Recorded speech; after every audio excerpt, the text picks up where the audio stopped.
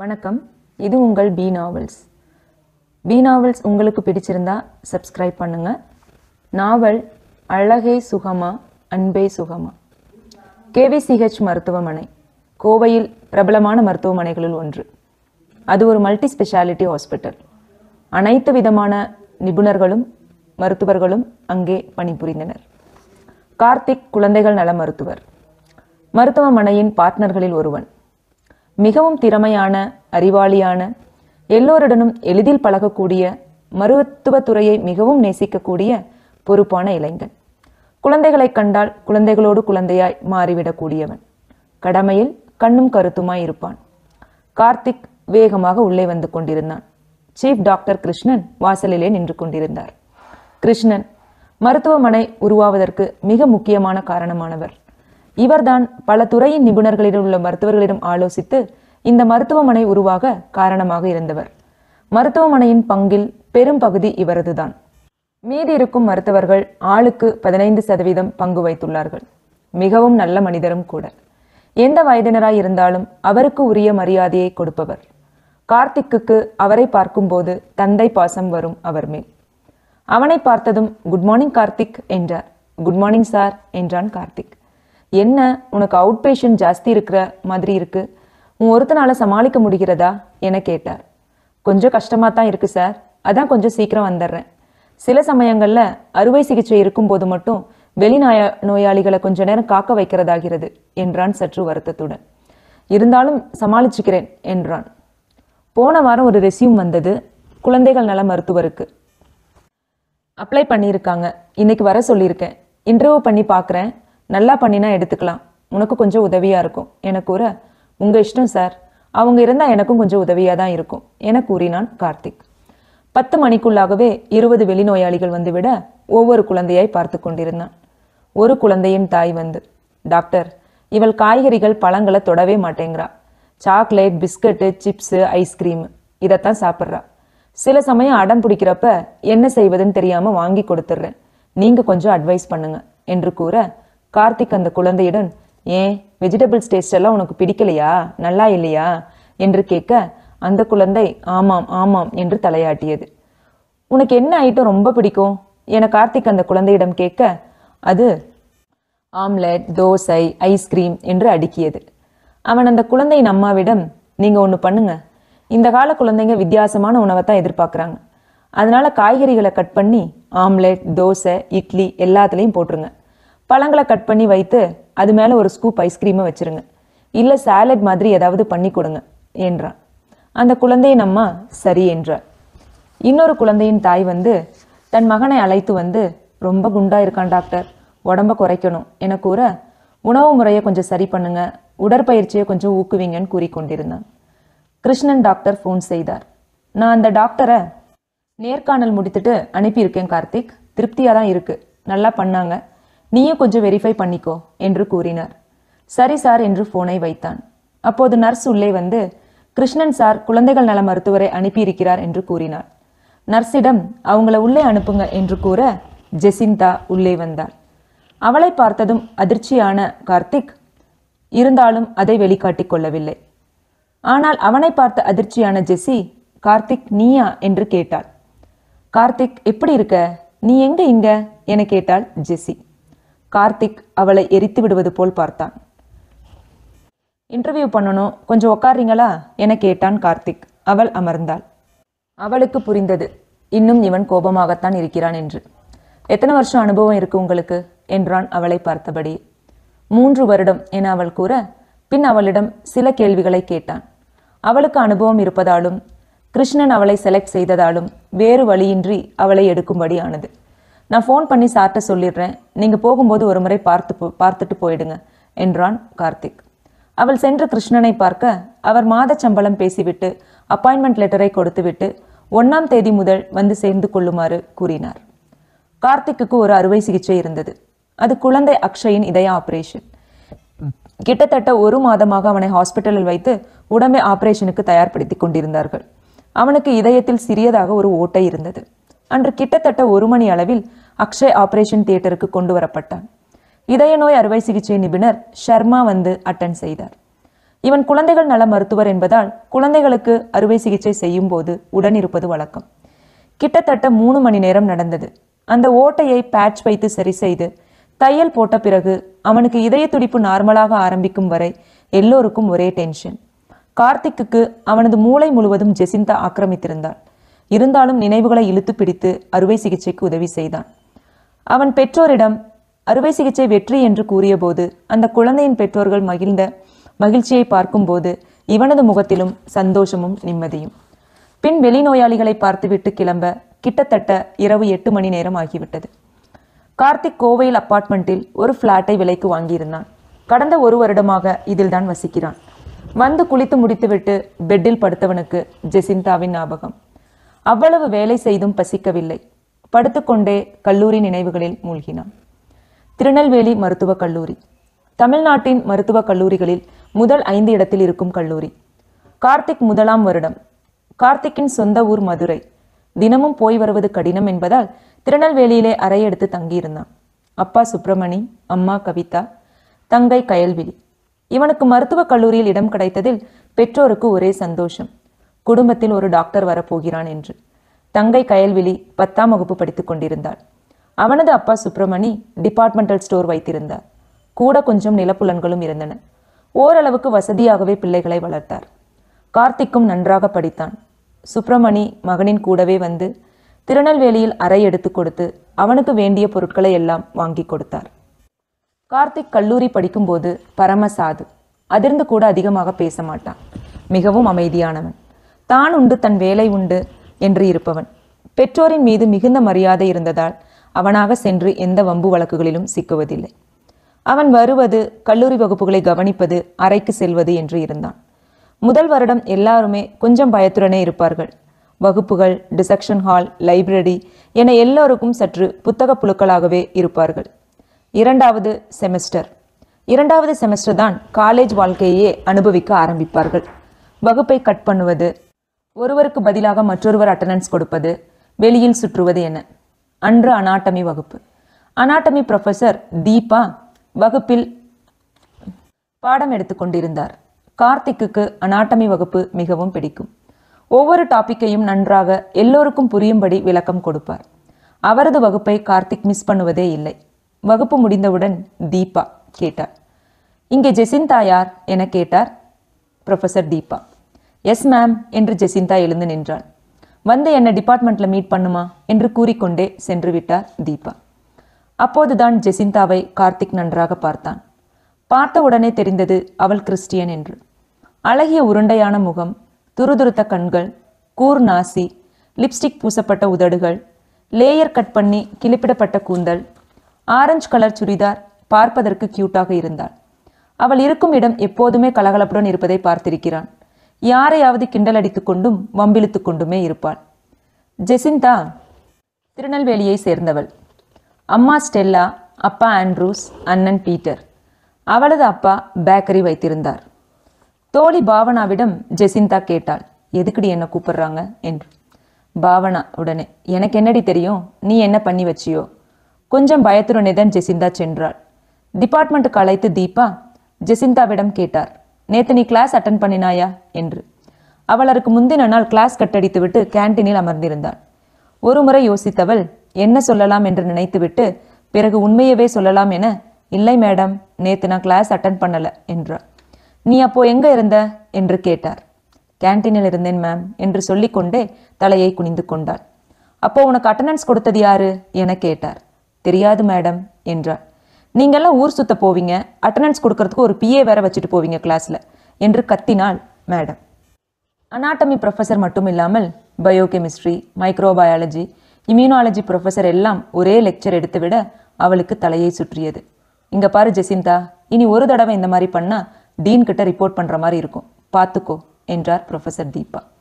கோபத்துடன் வந்தவள் வகுப்பில் எல்லோரும் வெளியே போயிருக்க வகுப்பில் பாவனா மட்டும் இருந்தாள். கார்த்திக் வெளியே உள்ள நோட்டீஸ் போர்டில் உள்ள சர்க்குலரை படித்துக் கொண்டிருந்தான். உள்ளே சென்று ஹே அந்த யானைக்குட்டி என்னை திட்டிருச்சுடி. அது மட்டுமல்ல அங்க இருக்கிற எல்லாரும் என்னை காட்சி எடுத்துட்டாங்க என்றாள் கோபத்துடன். சரி விடு வா போகலாம் என்றாள் பாவனா. எனக்கு மனசே ஆறலடி. இது ஒரு நிம் இரு ஒரு நிமிஷம் என்று விட்டு போர்டில் சென்று ஒரு யானையின் படத்தை வரைந்து அதன் முகத்துக்கு பதிலாக அனாட்டமி ப்ரொஃபஸர் முகத்தை வைத்தாள். இது யாருன்னு கண்டுபிடிங்க என்று எழுதிவிட்டு இருவரும் சென்று விட்டார்கள். நோட்டீஸ் போர்டை பார்த்துவிட்டு அறைக்கு செல்ல திரும்பிய கார்த்திக் இதை பார்த்து விட்டான். அடுத்த நாள் காலையில் வகுப்பு முழுவதும் போர்டின் முன் நின்று இது யார் என்று விவாதித்தது. கடைசியில் அனாட்டமி ப்ரொஃபசர் என்ற முடிவுக்கு வர தீபா அங்- அங்கே வரவும் சரியாக இருந்தது. முதல் வகுப்பு அவரது. எல்லாவற்றையும் பார்த்து கொண்டு ஜெசிந்தா புன்சிரிப்புடன் அமர்ந்திருந்தாள். அவளை பொறுத்தவரை வகுப்பில் யாருக்கும் தெரியாது. எழுதியதும் இடது கையில் எழுதியிருந்தாள். அதனால் கையெழுத்தும் கண்டுபிடிக்க முடியாது. பாவனா கண்டிப்பாக சொல்ல மாட்டாள். உள்ளே வந்த தீபா கோபத்தில் கர்ஜித்தாள். யார் இதை செய்தது? என்றார். வகுப்பறையில் மயான அமைதி. எல்லோரும் ஒருவர் முகத்தை ஒருவர் பார்த்து கொண்டிருந்தார்கள். ஜெசிந்தா கேஷுவலாக உட்கார்ந்திருந்தாள். பத்து நிமிஷத்துல எனக்கு உண்மை வந்தாகணும். இல்லனா இந்த செமஸ்டர்ல இதுதான் உங்களுக்கு கடைசி அனாட்டமி வகுப்பு. நான் இந்த வகுப்புக்குள் காலடி எடுத்து வைக்க மாட்டேன். நீங்களே படிச்சுக்கோங்க என்றார். அப்பாடா சந்தோஷம். இனிமேல் இது வராது என்றாள் மனதுக்குள் ஜெசிந்தா. அந்த படத்தை ஜெசிந்தா தான் வரைஞ்சாங்க மேடம். நான் பார்த்தேன் என்று பின்னாலிருந்து ஒரு குரல் வர அதிர்ச்சியுடன் திரும்பி பார்த்தாள் ஜெசிந்தா. ஜெசிந்தாவின் இதயம் துடித்து வெளியில் விழுந்து விடும் போல இருந்தது. மேம் நான் இல்லை மேம் என்று ஜெசிந்தா எழுந்து. நீ பேசாத. நீ தான் பண்ணியிருப்ப. நேத்து நான் திட்டினதுக்கா? நீ கிளாஸ் கட் பண்ணியதுக்கு திட்டினா நீ என்ன அவமானப்படுத்துறியா? என்று கத்தினார் தீபா. அப்புறம் அவர் திட்டிய வார்த்தைகளை வார்த்தையால் விவரிக்கவே முடியாது. அவளை டீனிடம் அழைத்து சென்று மன்னிப்பு கடிதம் வாங்கிக் கொண்டுதான் விட்டார். மதிய உணவு. கார்த்திக் வெளியே கிளம்பி கொண்டிருந்தான். ஜெசிந்தா கோபத்துடன் அவனிடம் வந்தாள். நீ என்ன பெரிய ஹீரோவா? என்று கேட்டாள் கார்த்திக்கிடம். ஏன் அப்படி கேட்குற என கேட்டான் கார்த்திக். மேடம்கிட்ட ஏன் என்னை மாட்டி விட்ட என்றாள் ஜெசிந்தா. நீதான படம் வரைஞ்ச என்றான் கார்த்திக். படம் வரைஞ்சா மாட்டி விட்டுடுவியா என்றாள் அவள். மேடம் அதுக்கப்புறம் வகுப்பு எடுக்க மாட்டேன்னு சொன்னாங்க. எனக்கு அவங்களோட வகுப்பு மிகவும் பிடிக்கும் என்றான் கார்த்திக். எடுக்க மாட்டேன்னு சொன்னால் எடுக்காமே போயிடுவாங்களா? அவங்க அப்படி சொன்னால் நீ என்னை மாட்டி விடுவியா? என்றாள் விடாமல். இங்க பாரு எனக்கு வேலை இருக்கு. நீ வரைஞ்ச நான் பார்த்தேன் அவங்க கேட்டாங்க நான் சொல்லிட்டேன். எனக்கும் வேலை இருக்கு வழிவிடு நான் போகிறேன் என்றாள். பெரிய ஹரிச்சந்திரனோட பக்கத்து வீடு என்று அவளும் விடுவிடுவென நடந்து போய்விட்டாள். மறுநாள் டிசெக்ஷன் ஹாலுக்கு கூட்டி போனார்கள். டிசெக்ஷன் ஹால் என்றால் இறந்த மனித உடலை ஃபார்மனில் திரவத்தில் வைத்திருப்பார்கள். அதை கெடாவர் என்பது இறந்த உடலை வைத்திருக்கும் பிணவரை என்று கூறுவார்கள். இந்த டிசெக்ஷன் ஹால் எப்போதும் அந்த பிணவரையின் பக்கத்திலேயே இருக்கும். அதை வைத்து உடல் உறுப்புகள் தசைகள் எப்படி ஒவ்வொரு உறுப்பையும் கட் பண்ணுவது அறுவை சிகிச்சை எல்லாமே சொல்லித் தருவார்கள். அதுதான் முதல் நாள். உள்ளே நுழையும் போதே ஃபார்மலின் திரவத்தால் அவனுக்கு தலை சுற்றியது. வாந்தி வருவது போல் இருந்தது. அங்கே மனித உடலை கிடத்தியிருந்தார்கள். புரொஃபசர் ஒவ்வொன்றாக விலக்கிக் கொண்டிருக்க மனித உடலை அவ்வளவு நெருக்கத்தில் பார்த்தவுடன் கார்த்திக் தலை சுற்றி விழுந்து விட்டான். எல்லோரும் சிரித்தார்கள். பெண்கள் எல்லாம் கூட தைரியமாகி நின்று கொண்டிருந்தார்கள். பின்னர் முகத்தில் தண்ணீர் தெளிக்க அவன் விழித்தான். எல்லோரையும் பார்க்க அவனுக்கு தர்ம சங்கடமாகி போனது. அப்போது ஜெசிந்தா ஏ பாவனா நம்ம சூப்பர் ஹீரோ கிளாஸ்ல புலி லேப்ல எலி என்று கிண்டல் அடிக்க மறுமுறை வகுப்பு முழுவதும் கொள்ளென சிரித்தது. பிறகு வரும் நாட்களில் அவனுக்கு சூப்பர் ஹீரோ என்ற பட்டப்பெயரை வைத்துவிட்டால் ஜெஸ்ஸி. எல்லோரும் அவனை சூப்பர் ஹீரோ சூப்பர் ஹீரோ என்றே பெயரிட்டு அழைக்க ஆரம்பித்தார்கள். யாராவது புரொஃபஸரை கிண்டலடித்தால் ஏ நம்ம சூப்பர் ஹீரோ போட்டு கொடுத்து விடுவார் பார்த்து பேசுங்க என்பாள். யாராவது ஏதாவது பிரச்சனை என்று வந்தால் எங்க கிளாஸ்ல ஒரு சூப்பர் ஹீரோ இருக்காரு அவர்கிட்ட போய் உங்க பிரச்சனைகள் எல்லாம் சொல்லுங்க உடனே சரி பண்ணிடுவாரு. என சொல்ல கல்லூரி முழுவதும் சூப்பர் ஹீரோ வார்த்தை பிரபலமானது. இதை கேட்டு நொந்து போன கார்த்திக் ஒரு நாள் அவளிடமே சென்று இனிமேல் உன் பக்கமே திரும்பி பார்க்க மாட்டேன். இந்த சூப்பர் ஹீரோவை கொஞ்சம் விட்டுடு என கெஞ்ச அவளுக்கும் அவனை பார்க்க பாவமாக இருந்தது. இப்போது இவர்கள் இரண்டாவது வருடத்தில் இருக்க அன்று ஃப்ரெஷர்ஸ் டே அதாவது முதல் வருட மாணவர்கள் வரும் நாள். ஜெசிந்தாவும் பாவனாவும் அங்கிருக்கும் பெஞ்சின் மீது உட்கார்ந்து கொண்டிருக்க அப்போது பாவனாவின் சித்தி மகள் பிந்து வந்து முதல் வருடத்தில் சேர்ந்திருந்தாள். ஜெசிந்தா அவளிடம் நீ முதல் வருட மாணவி தானே உனக்கு ஒரு டாஸ்க் நீ அதை முடிக்கணும். சரியா? என சொல்லுங்க சொல்லுங்க. எனக்கும் இந்த மாதிரி டாஸ்க்லாம் பண்ணுறது ரொம்ப பிடிக்கும். அப்புறம் ரேக்கிங்னு சொல்லி என்னை எங்கேயும் போய் மாட்டி விட்டுடாத என்றாள் ஜெசி அப்படிலாம் இல்லைக்கா. எனக்கும் இந்த டாஸ்க் எல்லாம் பண்ணுறதுக்கு ரொம்ப பிடிக்கும். சொல்லுங்க என்று பிந்து கூற உனக்கு ஃப்ரெஷர்ஸ் டேல ரோஸ் கொடுத்தாங்களா இல்லையா? என கேட்டாள் ஜெசி ஆமாக்கா இருக்கு என கூறினாள் பிந்து. அதை எடுத்துக்கொண்டு அதோ அங்க உட்கார்ந்திருக்காரே அவரிடம் கொண்டு போய் கொடுத்துவிட்டு ஐ லவ் யூ சொல்ல வேண்டும் என கூற அவளும் ஜாலியாக கிளம்பினாள். அங்கே அமர்ந்திருந்தது கார்த்திக்.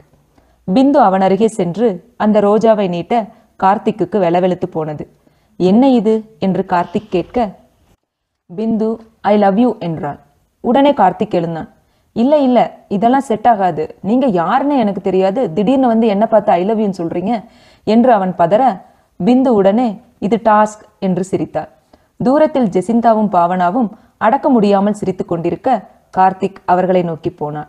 கார்த்திக் அவளிடம் சென்று இது என்ன விளையாட்டு? என்றான். என்ன விளையாட்டு? என்றாள் ஜெசிந்தா. இந்த ரோஸ் கொடுத்து ஐ லவ் யூ சொல்றதுதான் என்றான். சும்மா நான் ட்ரை பண்ணலான்னு பார்த்தேன். அடிச்சிட்டிங்கன்னா என்ன பண்ணுறது அதுதான் ஒரு ட்ரையல் பார்த்தேன். பரவாயில்ல சாஃப்டா தான் ஹேண்டில் பண்ணுறீங்க எனவே தைரியமாக ப்ரப்போஸ் பண்ணலாம் என்றால் ஏதோ வாயில் வந்ததை சொன்னாள். அவனை சீண்டிக்கொண்டே இருந்ததில் அவளுக்கு அவன் மேல் ஒரு ஈர்ப்பு வந்தது. கார்த்திக்குக்கு என்ன பேசுவதென்றே புரியவில்லை. அமைதியாக போய்விட்டாள். இரண்டாம் வருட இறுதியில் மெடிக்கல் கேம்ப் வைத்தார்கள். இவர்களது வகுப்பில் கிட்டத்தட்ட இருபது மாணவர்கள் சென்றிருந்தார்கள். Medical camp பாபநாசத்தில். அங்கிருக்கும் கிராம மக்களுக்கு இலவச வைத்தியம் பார்ப்பதுதான் நோக்கம். வருடா வருடம் ஏதாவது ஒரு கிராமத்திற்கு சென்று மெடிக்கல் கேம்ப் வைப்பது இவர்களது கல்லூரியின் வழக்கம். இந்த வருடம் பாபநாசத்தில். காலையிலிருந்து மதியம் இரண்டு மணி வரை இலவச மருத்துவம் பார்த்தார்கள். எல்லோரும் டென்ட் அடித்து தங்கியிருந்தார்கள். பக்கத்திலே இரண்டு அறைகள் அவர்களின் அவசர தேவைக்கென இருந்தது. மாலை நான்கு மணி அளவில் ஜெசிந்தா அங்கே இருந்த பாலத்திற்கு போய் வரலாம் என நண்பர்களை கூப்பிட எல்லோரும் டயர்டா இருக்குப்பா என்னால வர முடியாது என்று மறுக்க சரி நாமே போய்விட்டு வரலாம் என முடிவெடுத்து கிளம்பினாள் தூரத்தில் இருந்து பார்க்கும்போது அது உயரம் குறைவாய் இருந்தது. எனவே ஏற ஏற நீண்டு கொண்டே இருந்தது. இன்னும் ஐந்து நிமிடம் இன்னும் ஐந்து நிமிடம் இன்னும் ஐந்து நிமிடம் என ஏற அது முடியாமல் நீண்டு கொண்டே போனது. திரும்பி போய்விடலாமா? என்றும் யோசித்தாள். சற்று தூரம்தான் ஏறிவிட்டால் திருப்தியாகிவிடும் என அவள் ஏற அதன் பக்கம் அடர்ந்த காடு இருப்பது அப்போதுதான் தெரிந்தது. ஐந்தரை மணி அளவில் ஜெசியின் தோழி பாவனாவுக்கு சற்றே பயம் வந்தது. ஃபோன் செய்து பார்த்தால் ஜெசிந்தாவுக்கு. நோ நெட்வொர்க் என வர பயந்து விட்டாள். அங்கே உள்ள மாணவர்களிடம் சென்று அவள் அங்கு ஏற போயிருக்கிறாள் என கூற கார்த்திக் உடனே யாரிடமும் எதுவும் கூறாமல் கிளம்பிவிட்டான். பாவனா அவனையே ஆச்சரியமாக பார்த்து கொண்டிருந்தாள். கார்த்திக்குக்கு ஏனோ மனம் அடித்து கொண்டது. அவளுக்கு ஏதும் ஆகக்கூடாது என்று. வேகமாக படியில் ஏறிக்கொண்டிருந்தான் எப்போதும் அவனை கிண்டல் அடிப்பவள்தான் அவள். இருந்தாலும் அந்த கிண்டல் அடித்ததனால் அவளின் மேல் ஒரு ஈர்ப்பு இவனுக்கும் உண்டாகியிருந்தது. அங்கு ஜெசிந்தாவின் நிலை மிக மோசமாய் இருந்தது. லேசாய் இருட்டு. எங்கோ சிறுத்தை புலி சத்தம் வேறு கேட்க கை காலெல்லாம் உதறல் எடுத்தது. காலையில் கேம்புக்கு வந்த ஒருவர் அங்கு சிறுத்தை புலி பற்றி பேசியது நினைவுக்கு வர பயந்து போய் அமர்ந்து விட்டாள் கை காலெல்லாம் நடுங்கியது. கொஞ்ச நேரம் உட்கார்ந்திருந்தாள். அப்போது மிக அருகில் ஜெசி ஜெசி என்ற குரல் கேட்க அவளுக்கு அது கார்த்திக்கின் குரல் என புரிய கார்த்திக் இங்கேதான் இருக்கேன் என்று கையை ஆட்டினாள். மங்கிய வெளிச்சத்தில் சரியாக தெரியவில்லை என்றாலும் குத்துமதிப்பாய் ஒருவரை ஒருவர் பார்த்து கொண்டார்கள். இருவருக்கும் போன உயிர் திரும்பி வந்த மாதிரி இருந்தது. உணர்ச்சி பெருக்கில் ஜெசிந்தா ஓடி வந்து அவனை கட்டிப்பிடித்து கொண்டாள். ஜெசிந்தா ஒரே அழுகையா இருக்க? ஜெசி அல்லாத இட்ஸ் ஓகே. அதான் நான் வந்துட்டேன்ல. என்று ஆறுதலாய் அவளது தலையை தடவி கொடுத்தான். அவளுக்கும் மிக ஆறுதலாய் இருந்தது. உனக்கு எதற்கு இந்த அசட்டு தைரியம்? என்று அவளை திட்டிக் கொண்டான்.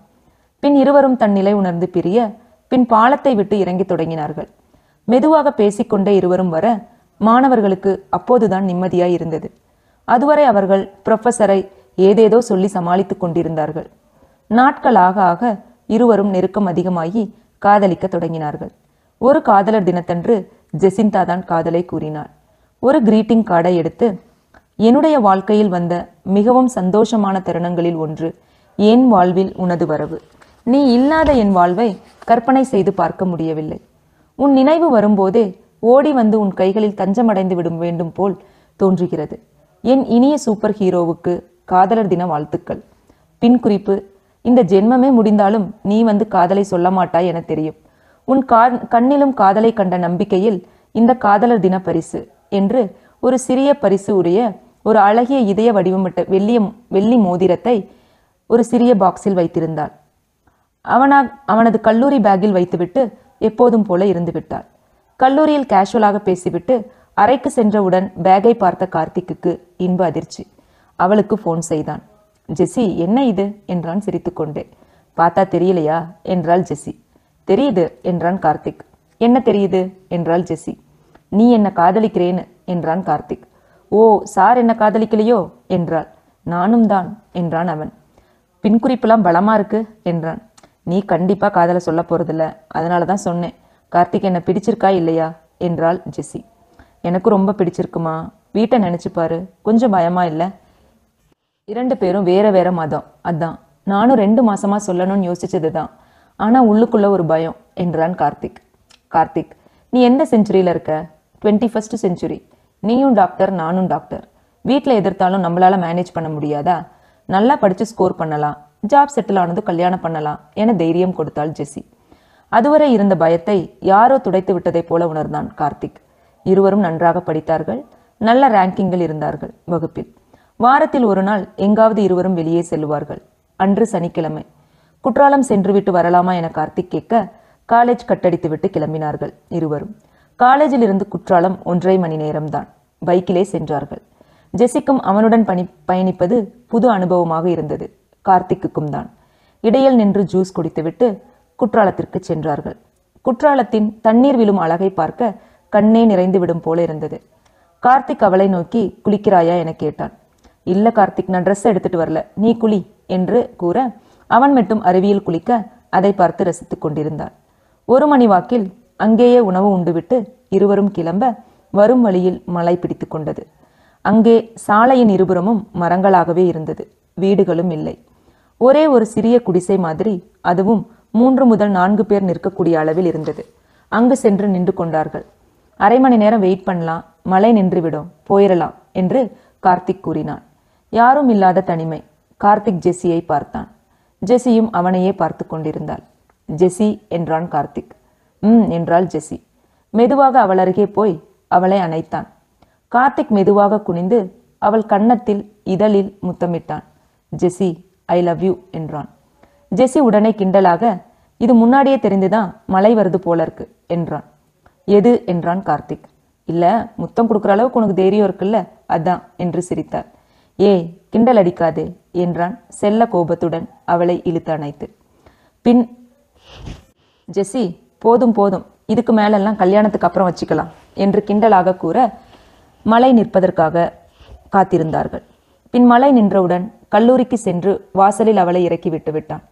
வழக்கம் போல நாட்கள் நகர ஒருமுறை ஞாயிற்றுக்கிழமை ஜெசிந்தா சர்ச்சில் பிரேயர் பண்ணி கொண்டிருந்தாள் பிரசங்கம் எல்லாம் முடிந்தது. சட்டென ஜெசிந்தா திரும்பி ஆண்கள் பக்கம் பார்க்க கார்த்திக் சர்ச்சுக்கு வந்திருந்தான். அவளை பார்த்து கண்ணடித்தான். ஏன் இங்க வந்த? என்று இவள் சைகையால் கேட்க மாமனார் மாமியாரை பார்க்க வந்தேன் என்று சிரிப்புடன் கூறினான் சைகையால். அடுத்த நாள் கல்லூரிக்கு வந்த ஜெசிந்தா அவனிடம் உனக்கு வர வர தைரியம் ரொம்ப அதிகமாயிடுச்சு கார்த்திக். என கிண்டல் அடிக்க. இங்க ரூம்ல சும்மா தானா இருக்கேன். உன்னை பார்க்கணும் போல இருந்தது. அதான் வந்தேன் என்றான். பின் அவளிடம் ஜெசி எனக்கு ஒரு ஆசை என்றான். என்ன? என்று கேட்டாள். உன்னை புடவையில் பொட்டு வைத்து தலையில் பூவுடன் எங்க கோவிலுக்கு ஒரு நாள் கூட்டிட்டு போகணும் என்று கூறினான். ஜெசிந்தா எதுவும் பேசவில்லை. அடுத்த வாரம் வெள்ளிக்கிழமை. ஜெசிந்தா ஒரு அழகிய லெமன் எல்லோ கலர் காட்டன் புடவையில் தலையில் பூவும் வைத்துக்கொண்டு வந்திருந்தாள். பொட்டு மட்டும் இல்லை. நேராக அவனிடம் வந்தவள் நல்லா இருக்கா? என்றாள். சூப்பரா இருக்கு. ஆனா ஸ்டிக்கர் மட்டும் மிஸ்ஸிங் என்றான். பேக்ல வச்சிருக்கேன் இன்று மதியம் ஒன் ஹவர் பர்மிஷன் போட்டுட்டு கோவிலுக்கு போயிட்டு வந்துடலாம் என்றாள். அங்கே ஒரு அம்மன் கோவில் இருக்க இருவரும் பர்மிஷன் போட்டுவிட்டு கோவிலுக்கு சென்றார்கள். உள்ளே நுழையும் போது ஸ்டிக்கர் வைத்து கொண்டாள். அவள் ஸ்டிக்கர் வைத்து இவன் பார்ப்பது இதுதான் முதல் முறை என்பதால் மிக அழகாக இருப்பதாக கூறினான் சரி உன் ஆசைக்கு கல்யாணத்துக்கு அப்புறம் நான் ஸ்டிக்கர் வச்சுக்கிறேன் விடு என்று சிரித்தாள். இருவரும் கையை கோர்த்து கொண்டு கோவிலுக்கு சென்றுவிட்டு வெளியே வருவதை ஜெசியின் அண்ணன் பீட்டர் பார்த்து விட்டான். அவனுக்கு ஒரே அதிர்ச்சி. ஜெசியா இது? உற்று பார்த்தான் நெற்றியில் பொட்டு தலை நிறைய பூ புடவை ஒரு இந்து கோவிலிலிருந்து தங்கை ஒரு ஆணுடன் கைகோர்த்து வருவதை அவனால் ஜீரணிக்கவே முடியவில்லை. வீட்டிற்கு சென்று அவனது அப்பா அம்மாவிடம் எல்லாவற்றையும் கொட்டி தீர்த்து விட்டான். கார்த்திக்கும் ஜெசியும் அவனது அண்ணனை பார்க்கவில்லை. அவர்கள் கல்லூரிக்கு போய்விட்டார்கள். வீட்டிற்கு மாலை வந்தவுடன் அம்மா வந்து டீ டிஃபன் வைத்துவிட்டு போய்விட்டாள். எதுவும் பேசவில்லை. அம்மா அம்மா என்று கூப்பிட்டு பார்த்தாள். அவர் எதுவும் பதில் இல்லை பின் அப்பா வந்தார். எதுவும் பேசவில்லை. ஜெசி ஏதோ வீட்டில் வித்தியாசமாக இருப்பதாய் உணர்ந்தாள். உள்ளே சென்று அம்மாவிடம் பேச அதேதான் அப்பாவிடம் அதேதான். மாறி மாறி இருவரிடமும் பேச இருவரும் வாயே திறக்கவில்லை. அவளுக்கு அழுகை வந்தது. அப்பாவிடம் அழுது கொண்டே கேட்க அவர் நடந்ததை கூறி நீயா ஜெஸ்ஸி அது? என்னால் நம்பவே முடியவில்லை. பரவாயில்லை இது உன் வாழ்க்கை. என் கடமை உன்னை டாக்டருக்கு படிக்க வைத்து விட்டேன். நீ முடிவு செய்து கொள். தோளுக்கு மேல் வளர்ந்து விட்டாய். இப்போது தோழி என்பார்கள். உன்னை அடிக்கவோ வீட்டில் பூட்டி வைக்கவோ நான் போவதில்லை. எங்களுக்கு அதில் இஷ்டமும் இல்லை. நீ எத்தனை வருடம் இங்கே இருக்க விரும்புகிறாயோ இருக்கலாம். நான் இருக்கும் வரை நான் உன்னை ஒரு இந்து பையனுடன் சேர்த்து வைக்கப் போவதில்லை. நீ இந்த வீட்டில் இருக்கும் வரை உனக்கு எல்லாமே கிடைக்கும். காலேஜுக்கு ஃபீஸும் கட்டுவேன். ஆனால் நாங்கள் இருவரும் உன் அண்ணனும் பேச மாட்டோம் உன்னிடம். அப்புறம் உன் இஷ்டம் என கூற அப்பா அவன் ரொம்ப நல்ல பையன்பா ரொம்ப சாதுப்பா என்னை ரொம்ப நல்லா பார்த்துப்பான் என்று அழுது கொண்டே கூறினாள் ஜெசிந்தா. அவர் எழுந்து போய்விட்டார். வீட்டில் ஒரே அமைதி. ஜெசி எப்போதும் கலகலவென இருந்தே பழக்கப்பட்டவள். அம்மாவிடம் சென்று அழுது கூட பார்த்தாள். யாருமே அசையவில்லை. இது ஒரு புதுவிதமான போராட்டமாக இருந்தது. அடுத்த நாள் கல்லூரிக்கு சென்ற ஜெஸ்ஸி கார்த்திக்கிடம் எல்லா விஷயமும் கூற இருவருக்கும் என்ன செய்வதென்றே புரியவில்லை. சரி படிப்பை முதலில் முடிக்கலாம். முதலில் என தீர்மானித்தனர். எல்லாமே தானா சரியாயிடும் என கார்த்திக் தெம்பூட்டினான்.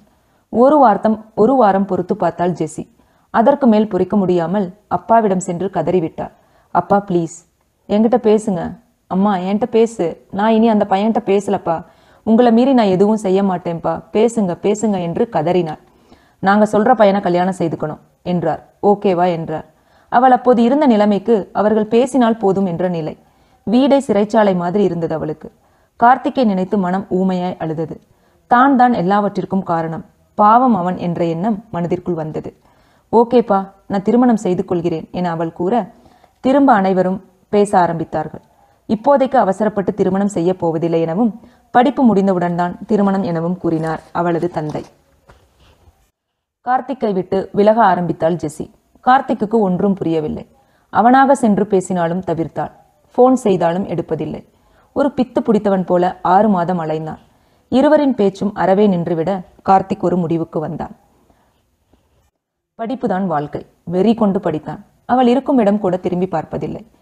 ஐந்து வருடம் முடித்து இன்டர்ன்ஷிப் முடித்தவுடன் அவன் பிஜி என்ட்ரன்ஸ் எக்ஸாம் கிளியர் செய்தான். பிஜி அவனுக்கு ஃப்ரீ சீட்டிலேயே கிடைத்தது. எம்எஸ் பீடியாட்ரிஷியன் குழந்தைகள் நல மருத்துவம் சேர்ந்து கொண்டான் கோவையில் உள்ள மருத்துவக் கல்லூரியில். ஆனால் மனதில் அவள் மேல் இருந்த கோபம் மாறவில்லை. வலிய வந்து ஆசை காட்டி ஏமாற்றி போய்விட்டாள். என்னதான் பெற்றோர் கூறினாலும் தான் வேண்டாம் என போய்விட்டாளே என்ற ஆதங்கம் மனதில் நெருப்பாய் கனன்று கொண்டே இருந்தது.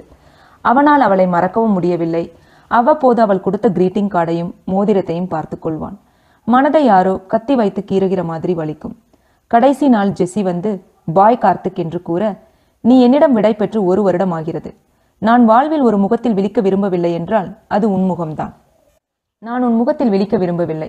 யாரையும் இனிமேல் வேஷம் போட்டு காயப்படுத்தாதே என்றான் கோபத்துடன். ஜெஸ்ஸி அழுது கொண்டே சென்று விட்டாள். இடையில் ஜெஸ்ஸியின் திருமண ஏற்பாடுகள் நடப்பதாக அவன் கேள்விப்பட்ட போது அவன் இன்னும் உடைந்து போனான். அவளை பற்றிய நினைவுகள் யார் யாரிடமிருந்து வருமோ அவர்களிடமிருந்து ஒதுங்கினான். பிஜி கோவையில் படித்ததால் பழைய நண்பர்கள் அவ்வளவாக தொடர்பில் இல்லாது போனார்கள். பிஜியில் அவனோடு படித்த டாக்டர் பிரவீன் நரம்பியல் மருத்துவர் மற்றும் இன்றும் நல்ல நண்பர்களாக இருக்கிறார்கள். பின் அவன் பிஜி படிக்கும்போது அந்த கல்லூரியின் டீன் தான் கிருஷ்ணன். அவர்கள் படிக்கும்போதே அவர் புதிதாக கட்டப்போற மருத்துவமனையை பற்றி கூற அவனது அப்பா பணம் ஏற்பாடு பண்ணி கொடுத்தார். எனவே அவனும் அந்த மருத்துவமனையின் பங்குதாரர் ஆனான் இத்தனை வருடம் ஆனாலும் ஜெஸ்ஸி அப்படியே இருக்கிறாள். திருமணமாகி குழந்தைகளும் இருக்கும். வேலைக்கு சேர்த்து கொண்டது தப்போ? ஜெஸ்ஸியால் மட்டுமே தட்டி எழுப்பக்கூடிய சில உணர்வுகள் அவனுள்ள அவன் அவளை நினைத்து கொண்டே உறங்கி போனான். அங்கு ஜெஸ்ஸிக்கும் அன்று உறக்கம் வரவில்லை. கார்த்திக்கும் இன்னும் தன்மேல் உள்ள கோபம் மாறவில்லை. தன்மேல்தான் தவறு. அவன் என்ன செய்வான்? ஆசை காட்டி மோசம் செய்தால் யார்தான் பொறுத்து கொள்வார்கள்? கல்லூரியை முடித்தவுடன் தந்தை வரன் பார்க்க ஆரம்பிக்க ஜெஸ்ஸி எதுவும் சொல்லவில்லை. சொன்னால் மற்றும் ஒரு சத்தியாகிரக போராட்டம் ஆரம்பிக்கும். ஏன் பிரச்சனை என்று விட்டுவிட்டாள். கல்யாண தேதி குறித்தாயிற்று. மாப்பிள்ளையின் பெயர் ஜேம்ஸ். அவன் நம்பரை அப்பா கொடுத்து அவனிடம் பேசுமாறு கூறினார். அவளுக்கு பேச விருப்பமில்லை. கார்த்திக்கை நினைத்தாள். எவ்வளவு அமைதியானவன். மனம் நோக ஒரு வார்த்தை கூட பேச மாட்டான் அன்று மழை நேரத்தில் அவன் கைகளுக்குள் இருந்ததை நினைத்தாள். இப்படி அவனை நினைத்து கொண்டே வாழ்க்கையை ஓட்ட வேண்டியதுதான் என நினைத்தாள். அந்த ஜேம்ஸும் இவளுக்கு ஃபோன் செய்யவில்லை. அடுத்த நாள் திருமணம். அன்று இரவு திருமண மண்டபமே அல்லோல அல்லோலப்பட்டது திருமண மாப்பிள்ளை அவன் காதலித்த பெண்ணுடன் ஓடிப்போய் விட்டான் அவன் எவ்வளவோ சொல்லியும் பெற்றோர் ஒத்துக்கொள்ளாததால் அவன் கடிதம் எழுதி வைத்துவிட்டு சென்று விட்டான். அவன் ஜெஸ்ஸியிடம் மன்னிப்பு கேட்டிருந்தான். கடிதத்தில் ஜெஸ்ஸி ஆறுதலாக உணர்ந்தாள். இந்த பெற்றோரின் பிடிவாதத்தால் பிள்ளைகளின் வல்வு வீணாவதாக நினைத்தாள். அவர்கள் காலத்தில் ஒரு கட்டுப்பெட்டியாக இருந்தார்கள். இந்த காலத்திலும் பிள்ளைகள் அப்படியே இருக்க வேண்டும் என பெற்றோர் நினைப்பது கொஞ்சம் கூட நியாயமில்லை என்று நினைத்தாள். சோகமாக இருப்பது போல் காட்டிக்கொண்டாள் அவர்களாக ஏற்படுத்திய திருமணம் நின்று போனதால் அவளது பெற்றோராலும் ஏதும் பேச முடியவில்லை. அங்கே உள்ள தனியார் மல்டி ஸ்பெஷாலிட்டி மருத்துவமனையில் வேலைக்கு சேர்ந்தாள். அங்கே குழந்தைகளுக்கு மருத்துவம் பார்க்க ஆரம்பித்தாள். கார்த்திக்குக்கு ஃபோன் செய்து மீண்டும் அவனை குழப்ப அவள் விரும்பவில்லை. இரண்டு வருடம் ஆனது மீண்டும் வீட்டில் திருமண பேச்சை எடுத்தார்கள். அவளுக்கு விருப்பம் இல்லை என தெளிவாக கூறிவிட்டாள். நான் என்று எனக்கு திருமணம் வேணும் என்று சொல்கிறானோ? அன்றுதான் திருமணம். தேவையில்லாமல் பேச்சை எடுக்காதீர்கள் என்று கூறிவிட்டார்கள்.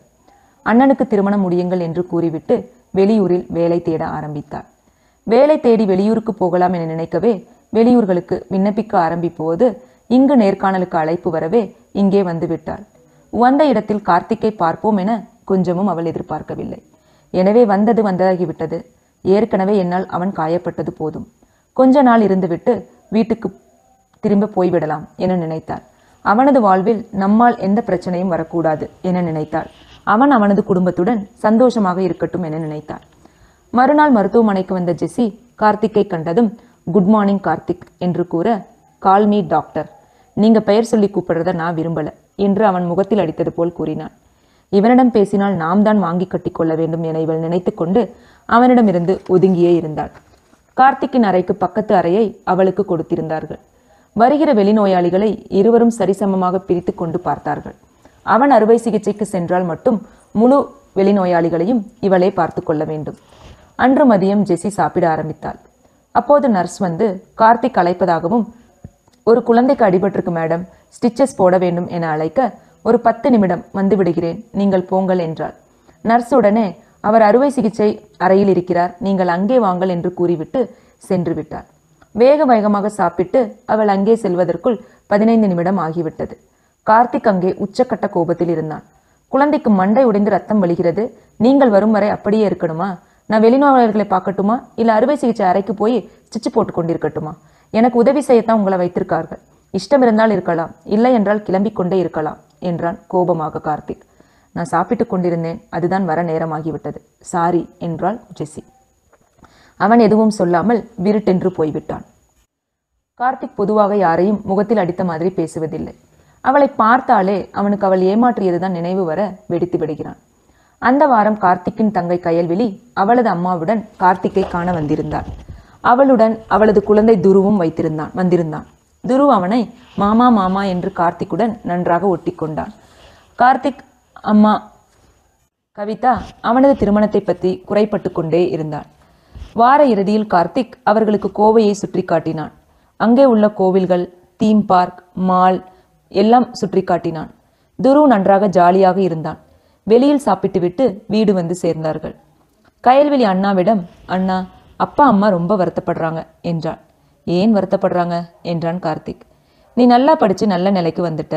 ஹாஸ்பிட்டலிலும் பார்ட்னராக இருக்க வீடும் வாங்கியாச்சு என்று கூறினாள் கயல்வெளி கயல் சொல்ல வந்ததை கூறு ஏன் அடிக்கிட்டே போற? என்றான். அண்ணா அப்பா அம்மா உன்னோட கல்யாணத்தை பற்றி பேசினா ஏன் தவிர்த்துக்கிட்டே இருக்க? என்றாள் கயல்விழி. இப்போ எனக்கு இஷ்டம் இல்லை கயல் என்று கூறினான் கார்த்திக். அண்ணா என்கிட்ட சொல்லு. நீ யாரையாவது விரும்புறியா? உன் சூட்கேஸில் ஒரு பொண்ணோட ஃபோட்டோவை பார்த்துருக்கேன். க்ரீட்டிங் கார்டு கூட. சொல்லுண்ணா அந்த பொண்ணை வேணாலும் மேரேஜ் பண்ணிக்கோ. நான் அப்பா அம்மாட்ட பேசுகிறேன் என்று கூறினாள் கயல். இல்லை கையல். அதெல்லாம் சும்மா அந்த வயதில் ஒரு ஈர்ப்பு. இப்போது அதெல்லாம் இல்லை. என்னமோ எனக்கு அதில் ஒரு ஈடுபாடு இல்லை. பண்ணணும்னா நானே சொல்லுவேன். அவங்கள வருத்தப்பட வேணான்னு சொல்லு என்றான் கார்த்திக். சரிண்ணா நாங்கள் நாளைக்கு ஊருக்கு கிளம்புறோம் என கூறினார் துருவுக்கு ட்ரெஸ்ஸு டாய்ஸ் எல்லாம் வாங்கி வச்சுருக்கேன். மறக்காமல் எடுத்துகிட்டு போ என்றான் கார்த்திக். அடுத்த நாள் கார்த்திக் மருத்துவமனைக்கு வந்துவிட ஜெஸ்ஸியும் வந்திருந்தாள். இப்போதெல்லாம் ஜெஸ்ஸி அவசியம் இருந்தால் ஒழிய அவன் இருக்கும் அரைப்பக்கம் எட்டி கூட பார்ப்பதில்லை. அன்று கேண்டீனில் கார்த்திக்கும் அவனது நண்பன் பிரவீனும் அமர்ந்து சாப்பிட்டு கொண்டிருக்க பிரவீன் கார்த்திக்கை கிண்டலடித்துக் கொண்டிருந்தான். உனக்கு என்னப்பா? கொடுத்து வச்சவன் என்றான் பிரவீன். ஏன்? என்று கேட்டான் கார்த்திக். உனக்கு கம்பெனி கொடுக்க கிருஷ்ணன் டாக்டர் ஒரு டாக்டர் அப்பாயிண்ட் பண்ணியிருக்கார் என்றான். எனக்கு கம்பெனி கொடுக்கலடா எனக்கு சப்போர்ட் பண்ண என்றான் சிரித்துக்கொண்டே கார்த்திக். எதுவா இருந்தா என்ன? என்னோட டிபார்ட்மெண்ட்டுக்கெல்லாம் இவ்வளோ அழகான டாக்டர் வந்தா எப்படி இருக்கும்? என்றான் கனவிலே. வேணும்னா உன் டிபார்ட்மெண்ட்டுக்கே கூட்டிகிட்டு போயிடுடா. எனக்கெல்லாம் வேணாம் என்றான் கார்த்திக். ஏன்டா அப்படி சொல்கிற உனக்கெல்லாம் கொஞ்சம் கூட ரசனையே இல்லடா என்றான். ஏய் அவங்களுக்கு கல்யாணம் ஆகியிருக்கும். இப்படிலாம் பேசாத நல்லா இல்லை என்றான் கார்த்திக். உனக்கு யார் சொன்னது? என்று கேட்டு சிரித்தான் பிரவீன். இதில் கேட்க என்ன இருக்குது மூணு வருடம் முன்னாடி எம்பிபிஎஸ் பண்ணியிருக்காங்க. இன்னுமா கல்யாணம் பண்ணாமல் இருப்பாங்க? ஆமாடா இன்னும் மேரேஜ் ஆகலை. நான் பேசியிருக்கேன் அவங்களோட. நல்ல ஃப்ரெண்ட்லியாக பழகுறாங்க. இன்னும் மேரேஜ் ஆகலைன்னு தான் சொன்னாங்க. அப்படியா? என்ற கார்த்திக்குக்கு இது அதிர்ச்சியாக இருந்தது. பின் உணவு முடிந்ததும் அவளின் அறைக்கு சென்ற கார்த்திக் கதவை லேசாக மூடினான். உன்கிட்ட கொஞ்சம் பேசணும் என்றான். என்ன? என்றாள் ஜெசி. உனக்கு இன்னும் திருமணம் ஆகலையா? என கேட்டான். இல்லை என்றாள் ஜெசி. ஏன் கேட்குறீங்க என்று கேட்டாள். இல்லை என் ஃப்ரெண்டு பிரவீன் ரொம்ப நல்லவன். கொஞ்சம் வெகுளி. என்னை பேசி பேசியே ஏமாத்தின மாதிரி அவனையும் ஏமாத்தாத என்றான் கோபத்துடன். ஜெசிக்கு கோபமாய் வந்தது. என்ன இவன்? சும்மா சும்மா நம்ம கொத்தி பிடுங்குறான் நான் இவன் வலிக்கே போறதில்ல. இருந்தாலும் விடமாட்டேன்றானே என்று போனா போகுது என்ற அமைதியாய் போனால் ஓவரா தான் பேசுகிறான். மிஸ்டர் நான் யார்கிட்ட பேசினா உங்களுக்கு என்ன? என கேட்டாள் ஜெசி. கொஞ்சம் விட்டா தலைக்கு மேலே தான் போற. நான் உன்னை ஆசை காட்டி ஏமாத்துனது தப்பு தான் ஒத்துக்கிறேன். இந்த மூணு வருடமா உன் உன்னை தொல்லை பண்ணினேனா? இல்லை உன் வீட்டில் வந்து உட்கார்ந்து உன் குடும்பத்தை கலைச்சேனா? எனக்கு நீ இங்கே இருக்கிறது தெரியாது. தெரியாமல் வந்து தொலைச்சிட்டேன். இன்னும் ஒரு மாதம் டைம் கொடு. எப்படியாவது நான் போயிடுவேன். அது வரைக்கும் நீ இருக்கும் பக்கம் கூட தலைவிச்சு கூட படுக்க மாட்டேன். நீ நிம்மதியாயிரு என்று கத்தினாள் ஜெசி. கார்த்திக் இதை எதிர்பார்க்கவே இல்லை. வேகமாக வெளியே சென்று விட்டான். ஒரு நிமிடம் காலேஜின் முதல் நாள் சண்டையிட்ட ஜெசியை பார்ப்பது போல் இருந்தது அவனுக்கு. கார்த்திக் அவனது அறையில் சென்று அமர்ந்தான். அவளை ரொம்ப காயப்படுத்தி விட்டது புரிந்தது. அவள் மனமாற பழகியது அவனுக்கு புரிந்துதான் இருந்தது. பெற்றோர் அப்படி அவளை டார்ச்சர் பண்ணியதால் தானே அவள் விட்டு விலகினாள். இந்த மூன்று வருடமும் அவள் தன்னை தொந்தரவு செய்யவில்லை. அவளும் ஒன்றும் திருமணமாகி சந்தோஷமாக வாழவில்லையே என்று யோசித்து கொண்டே இருந்தான். ஆனால் அவள் கூறினாளே உன் குடும்பத்தை நான் எதுவும் தொந்தரவு செய்யவில்லையே என்று. அவள் தனக்கு திருமணமாகிவிட்டதாக நினைத்துக் கொண்டிருக்கிறாளோ என்று நினைத்தான். அவளுக்கு கல்யாணம் என்று கூறினார்களே என்று நினைத்தான். அவள் மேல் நேசம் மீண்டும் துளிர்த்தது அவன் மனதில். அவளிடம் எப்படி பேசுவது என்று நினைத்தான். இந்த முறை அவளை விட்டுவிடவே கூடாது என்று நினைத்தான். அதற்குள் கயல்விழி கார்த்திக்குக்கு ஃபோன் செய்தாள். என்ன கையல்? இன்னும் கிளம்பலையா ஊருக்கு? என்று கேட்டான் கார்த்திக். கிளம்பிட்டு இருந்தோன்னா திடீர்னு துருவுக்கு ஒரே வாமிட்டா இருக்கு.